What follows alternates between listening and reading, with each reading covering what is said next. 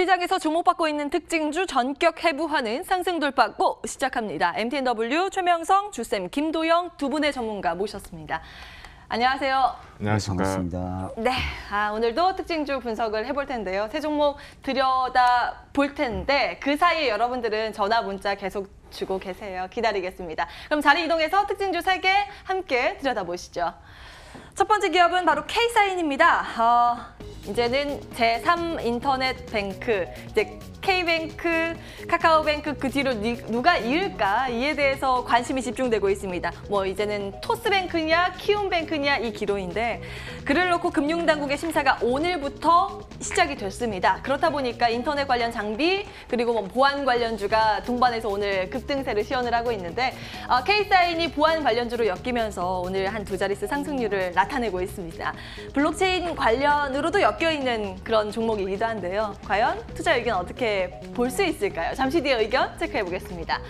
두 번째 기업은 LB세미콘 보겠습니다. BTS, 어, 방탄소년단 관련주로 너무나 잘 알고 계시죠? 근데 그 사이에 가려진 게 있습니다. 어, 반도체 사업을 하고 있는 기업인데요. 시스템 반도체 packaging 사업을 하고 있습니다. 그렇다 보니까 비메모리 반도체에 대한 기대감 들릴 때 들썩이고 BTS 관련주 들썩일 때 함께 급등하는 이게 핑퐁으로 급등을 하면서요. 오늘 역사상 신고가를 또다시 쓰고 있는데요. 어디까지 갈 수 있을까요? 잠시 뒤에 전문가 의견 체크해 보시죠.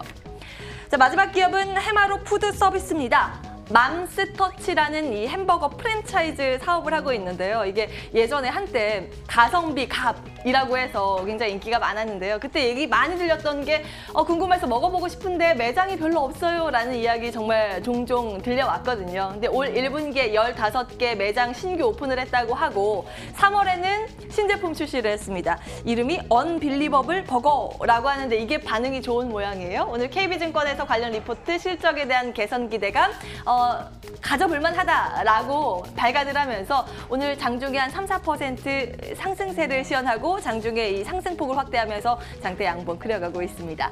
해마로 푸드 서비스까지 특징주 체크를 해봤고요. 의견 하나하나 체크를 해보겠습니다. 케이사인 김도영 전문가님 이거 더 갈 수 있을까요? 네, 저는 결론적으로 먼저 말씀을 좀 드리면 동사의 기업 가치는 매우 좋다. 하지만 단기 테마성이 열려 있다라는 것은 좀 아쉬움이 있습니다. 그래서 저는 추가 상승은 좀 어렵다라고 판단을 하고 있는데요. 오늘 같은 경우에는 시장의 테마성 부분으로 해서 저는 스탑의 의견을 드리도록 하겠습니다. 하지만 동사가 특징이 있죠. 재무구조 기준에서 우리가 놓고 봤을 때 보안 시스템 부분이 기술력 부분이 확보되어 있고 하지만 재무 관계 속에서는 상당히 나쁜 기업들이 좀 위축되어 있는 기업들이 많았는데요. 동사 같은 경우는 재무가 상당히 안정적인 핸들링, 즉 드라이브 자체를 잘 걸고 있다라고 보실 수가 있겠고요. 또 동사의 특징은요. 경쟁사를 우리가 예를 들면 삼성향에 납품하는 부분의 데이터를 뽑았을 때 라온시큐어를 가장 대장 역할로 많이들 언급을 합니다. 하지만 동사의 특징은 중소 대를 상관없이 이 호환성이 매우 뛰어난 인증 시스템을 갖고 있다라고 보시면 가장 좋을 것 같은데요. 그래서 실적도 조금씩은 계속 우상향을 해보지 않을까라고 판단이 됩니다. 하지만 오늘 테마성이 불었던 것은 우리가 이거였죠. 바로 화해 사태가 어마어마하게 MS까지 확대되면서 위험성이 도래되고 있거든요.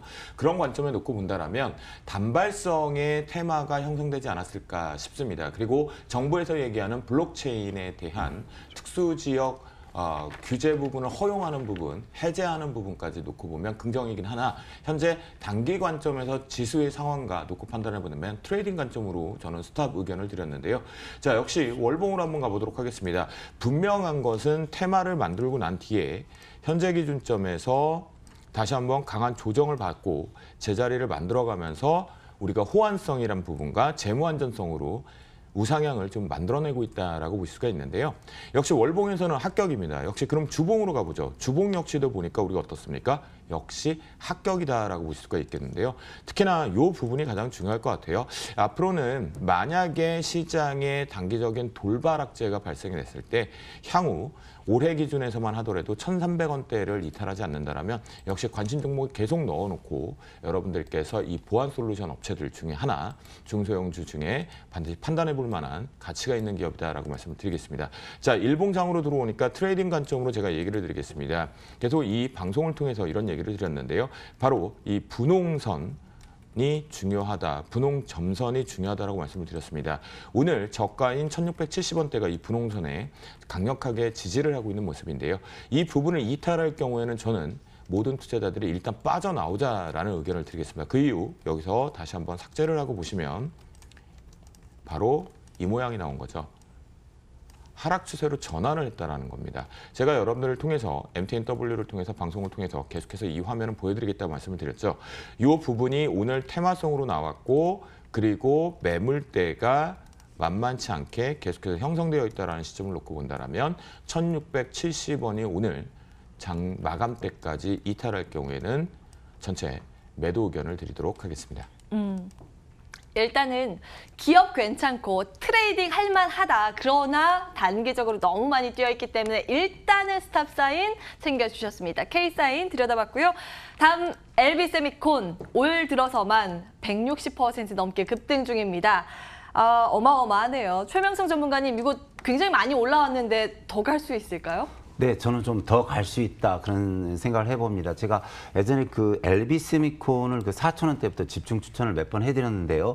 어, 저는 이제 사실 9천 원대 제가 이제 매도 사인을 줬는데 어, 이 종목은 어, 내릴 듯 내릴 듯 조정할 듯 하락할 듯 하면서 보면 올라가고 보면 올라가고 엄청난 거래량 매수 거래량이 들어오고 있습니다. 또 기관 쪽에서 매수 거래량이 많이 들어오고 있는데요. 그 마의 만 원을 돌파해서 오늘 그 만 천 이백 원까지 갔는데요. 계속 그 상승 추세가 무섭습니다. 근데 이제 이 회사의 재무제표를 좀 보시면 이제 반도체 패키징 업체인데요. 어, 계속 보면 3년 전에 1,357억이 작년에 2,757억, 또 영업이익이 157억에서 274억으로 증가가 돼 있습니다. 그래서 매출과 영업이익이 예, 계속해서 증가하고 있고요. 유볼도 어, 330%에서 432%로 계속 증가하는데 여기에 이제 빅히트가 뭐냐면은 또 방탄소년단에 예, 투자한 일부 지분이 있습니다. 그래서 예, 자세히 보시면 요 근래도 보시면 예전에 그 외국인 쪽에서도 많은 매수가 들어와 있는데요. 요 근래에 보시면 기관 쪽, 에, 특히 투신 쪽에서 또 기타 법인 금융투자 쪽에서도 많은 매수가 들어오고 있습니다. 근데 그 차트를 보시면요. 이 종목이 참 어마어마한 그 강세입니다. 그래서 요즘 시장이 3주째 좀 시장이 안 좋은데도 불구하고 많은 거래량과 올라서 강한 예, 돌파력이 나오면서 센 힘이 계속 어, 이렇게 체크가 되고 있는데요. 이 종목은 만 원을 이게 손절가, 그러니까 지지선을 잡고 계속 갈 수 있습니다. 그래서 일봉 차트인데 주봉 차트를 보시면요. 현재 4천 원을 뚫고 강하게 돌파하고 있는데 계속 올라가는 추세입니다. 그 월봉을 보시면 월봉도 장대 양봉에 음봉이 나오고 다시 양봉과 양음양 돌파인데 이러면 한번 좀 더 치고 가는 경우가 있습니다. 근데 이 종목이 이제 반도체 매출과 영업이익도 좋고 또 이제 방탄소년단 어, 방탄소년단 투자도 하지만 어, LG그룹 어, 창업주의 제 3세 손주가 되겠습니다. 그래서 여러 가지 삼박자를 가지고 있습니다. 그래서 LB 세미콘 이 주식은 그냥 함부로 보지 마시고 에, 대기업 중에 핵심 회사니까 앞으로 좀 차분히 보시면서 만 원을 깨지 않으면 계속 고하면서 어, 가지고 가시면서 대응하시면 아, 좋은 결과가 나올 수 있다 이렇게 말씀을 드리겠습니다. 네. 엘비 세미콘 더 갈 수 있다라는 측면에서 꼭 의견 챙겨주셨습니다. 다만 기준가 만 원 꼭 기억해 두셔야겠네요. 자, 특징주 추가 전략 모색을 해봤습니다. 이제는 여러분들 고민 들여다 봐야겠죠? 고민 들고 바로 돌아오겠습니다.